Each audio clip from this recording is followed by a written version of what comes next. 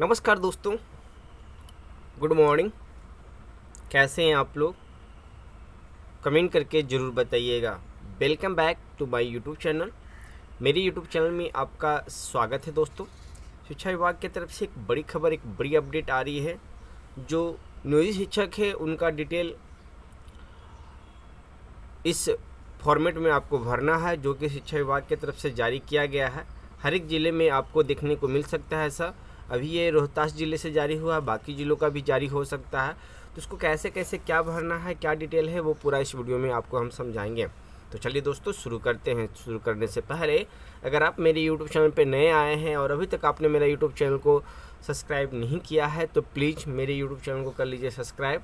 Bell icon कर लीजिए press, ताकि सिस्को से रिलेटेड कोई भी बड़ी खबर, बड़ी अपडेट आए, उसका नोटिफिकेशन सबसे पहले आपके पास पहुँचे और उस वीडियो का लाभ उठा सकें।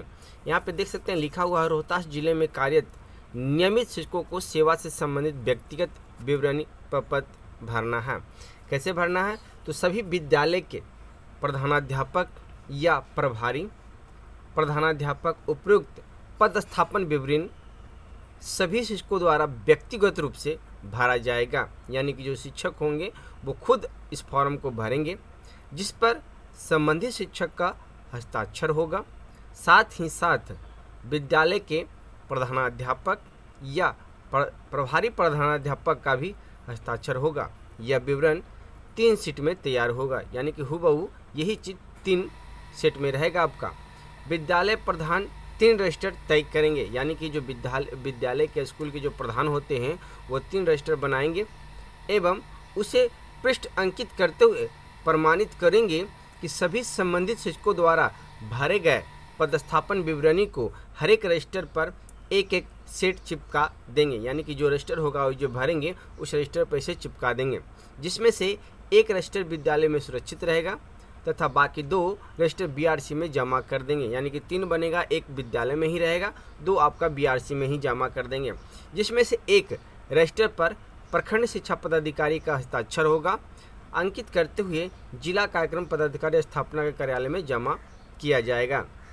यानी कि प्रखंड शिक्षा पदाधिकारी जो होंगे उनका सिग्नेचर करके डीओ के पास जमा करना होगा एवं एक रजिस्टर बीआरसी में सुरक्षित रहेगा। यह कार्य तीन से चार दिनों में संपन्न कर लिया जाए। आदेशानुसार जिला कार्यक्रम पदाधिकारी स्थापना रोहतास की तरफ़ से ये डिटेल जारी किया गया है, बताया गया है। तो इस फार्म को कैसे भरना है, वो हम आपको बता देते हैं। यानी कि तीन सेट में ये बनेगा और तीनों सेट में एक स्कूल में एक बीआरसी में और एक डीओ के पास जमा होगा। तो चलिए, कॉलम को बताते हैं आपको विस्तार से। पहला यहाँ पे देख सकते हैं, प्रखंड है। आपको प्रखंड का नाम यहाँ पे लिखना है, जिस प्रखंड से हैं। फ़िलहाल ये रोहतास ज़िले का बना हुआ है फॉर्मेट तो आप रोहतास ज़िले का प्रखंड जो आते हैं, रोहतास ज़िले के अंतर्गत, उनका इसमें डिटेल भरना है। कोई प्रखंड का नाम, जिस प्रखंड में आपका विद्यालय है। नियुक्ति का वर्ष, आप किस वर्ष नियुक्त हुए हैं, उसका डिटेल इसमें भरना है। वर्तमान विद्यालय में पदस्थापन का वर्ष, यानी कि वर्तमान विद्यालय जो अभी आप विद्यालय में हैं, उस विद्यालय में पदस्थापन कब किस वर्ष हुए हैं, वो डिटेल यहाँ पे भरना अगर मान लें कि नियुक्ति का वर्ष एक है या पदस्थापन का भी वर्ष एक है तो दोनों एक आप डाल दीजिएगा। ऑलरेडी जिला रोहतास किया हुआ है। फिर आपको यहाँ पे विद्यालय का नाम, जो भी विद्यालय का नाम होगा, वो विद्यालय का नाम यहाँ पे डालना है।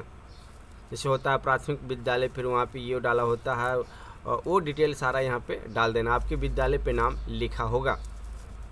शिक्षक या शिक्षिका का नाम, अगर आप पुरुष हैं तो पुरुष का नाम यहाँ पे लिखना होगा। अगर आप महिला शिक्षक हैं तो महिला शिक्षक का नाम यहाँ पे लिखना होगा। दोनों कॉलम यहाँ पे दिया हुआ है। पिता या पति का नाम, अगर आपके पिता का नाम है तो पिता डालेंगे। अगर महिला है, उनका पति का नाम है तो महिला अपना पति का नाम यहाँ पे डालेंगे। जन्म तिथि आपका क्या है? वो जन्म तिथि आप यहाँ पे डालेंगे। फिर नियुक्ति की तिथि। देखिए, यहाँ पे नियुक्ति का वर्ष पूछा गया था। यहाँ पे नियुक्ति का तिथि पूछा जा रहा है। किस डेट में आप नियुक्त हुए थे? नियुक्ति प्रमाण पत्र आपको मिला था। फिर आप नियुक्ति प्रमाण पत्र मिलने के बाद विद्यालय में किस दिन योगदान दिए थे? उसका तिथि यहाँ पे डालना है। यहाँ पे वर्ष डालना है, यहाँ पे तिथि डालना है। ये जान लीजिए। ये डिटेल आप दोनों भर लीजिएगा। जैसे मान लिया कि आपने पच्चीस फरवरी को किया है तो पच्चीस फरवरी यहाँ पर डाल दीजिएगा। और योगदान किए हैं पाँच मार्च को तो यहाँ पे पाँच मार्च डाल लीजिएगा। एक अनुमान हमने बताया आपको दोस्तों। ये व्यक्तिगत रूप से टीचर को ही भरना है। आप दूसरे पे आश्रित मत रहिएगा। फिर यहाँ पे है प्रशिक्षित वेतनमान प्राप्ति की तिथि एवं वर्तमान बेसिक पे क्या है आपका, उसका डिटेल भरना है। अगर आप प्रशिक्षित वेतनमान प्राप्ति के ले रहे हैं तो उसका या वर्तमान बेसिक पे है, उसका आपको डालना है। दिनांक डालना है। बेसिक पे आपका क्या है, वो यहाँ पे डालना है। महँगाई भत्ता आपका कितना है, वो डालना है।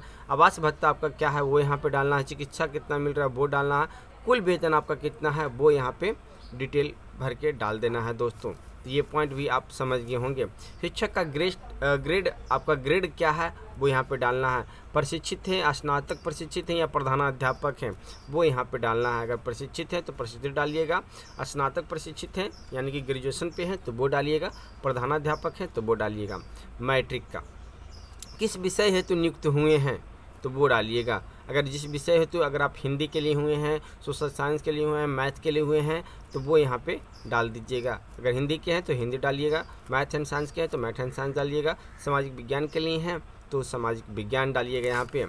फिर क्या नियुक्ति अनुकंपा के आधार पर हुआ है? अगर अनुकंपा के आधार पर हुआ तो हाँ लिखिएगा, अगर नहीं हुआ है तो नहीं यहाँ पे भरिएगा। अगले कॉलम में चलिए। कॉलम नंबर फिर पूछ रहा है शैक्षणिक या प्रशैक्षणिक योग्यता क्या है वो डिटेल यहाँ पे डालना है। तो देखिए शैक्षणिक का प्रशासनिक आप सब किए होंगे वो डालना है। तो योग्यता में आ जाइए। यहाँ पे योग्यता है अनुक्रमांक रोल कोड एवं रोल नंबर है संकाय है विषय कला एवं वाणिज्य है। बोर्ड विद्यालय का नाम है प्रमाण पत्र का क्रमांक है उत्तीर्णता वर्ष है कुल पूर्णांक है कुल प्रवतांक है वो डिटेल बताते हैं। सबसे पहले मैट्रिक में आपका अनुमान रोल कोड क्या है वो यहाँ पे डाल दीजिएगा। संकाय आपका क्या है आ, साइंस से आर्ट है, वो यहाँ पे भरने का रहेगा, वो यहाँ पे डाल दीजिएगा। बोर्ड विश्वविद्यालय का नाम क्या है? तो वो डाल दीजिएगा इसे बिहार विद्यालय परीक्षा समिति, इसको बी एस ई भी बोला जाता है, वो यहाँ पर डाल दीजिएगा। प्रमाण पत्र का क्रमांक, ऊपर में देखिएगा, क्रमांक रहता है। प्रमाण पत्र का वो यहाँ पे डाल दीजिएगा। उत्तीर्णता का बस किस वर्ष आप पास किए हैं वो डाल दीजिएगा।